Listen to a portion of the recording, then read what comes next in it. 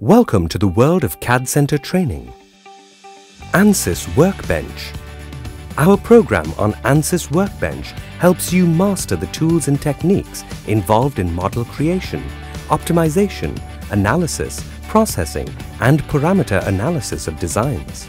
The key features covered in our course include Introduction to CAE, FAE, and ANSYS Workbench, working on projects with ANSYS Workbench, generation and refining mesh, surface and line models, static structural analysis, modal buckling and thermal analysis, coupled field, post-processing.